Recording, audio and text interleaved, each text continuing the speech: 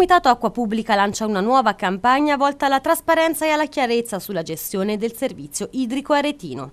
Dopo che lo scorso 20 novembre l'amministrazione comunale Nuove Acque avevano tenuto una conferenza stampa per presentare le novità in vista del 2017 riguardo alle tariffe. E proprio riguardo alle riduzioni in bolletta e alle agevolazioni per i nuclei familiari numerosi, il Comitato ha voluto puntualizzare alcuni dettagli. Eh, siamo andati a leggere per bene le carte e abbiamo visto che si tratta solo in gran parte di annunci farlocchi.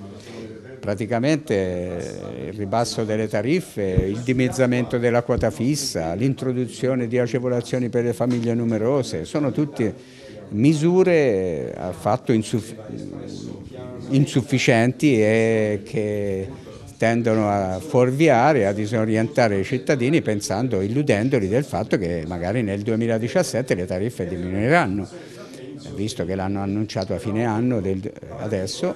Il problema invece è l'esatto contrario, a parte una modesta eh, fascia di consumi, il resto viene tutto aumentato. I dati che sono stati ehm, elargiti, erogati durante la conferenza stampa rapportati e raffrontati con quelli del Comitato Acqua Pubblica e quello che abbiamo appunto analizzato con loro sono completamente diversi.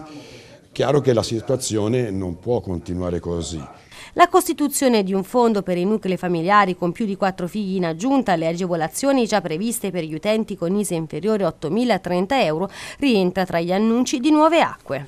Noi non chiediamo, non abbiamo mai chiesto agevolazioni di fatto agevolazioni eh, il provvedimento che è stato presentato eh, non, non, non, non, le ha per le famiglie numerose. Noi abbiamo posto all'attenzione questo problema della tariffazione che porta a, a delle cifre eh, esagerate. Quindi si tratta di fare eh, eh, e di studiare come anche eh, sanno benissimo tutti gli attori diciamo, della vicenda un'articolazione che non punisca, che non penalizzi le famiglie numerose perché? Perché è vero che consumano di più inevitabilmente essendo in più componenti, ma il concetto è che l'acqua deve costare uguale per tutti.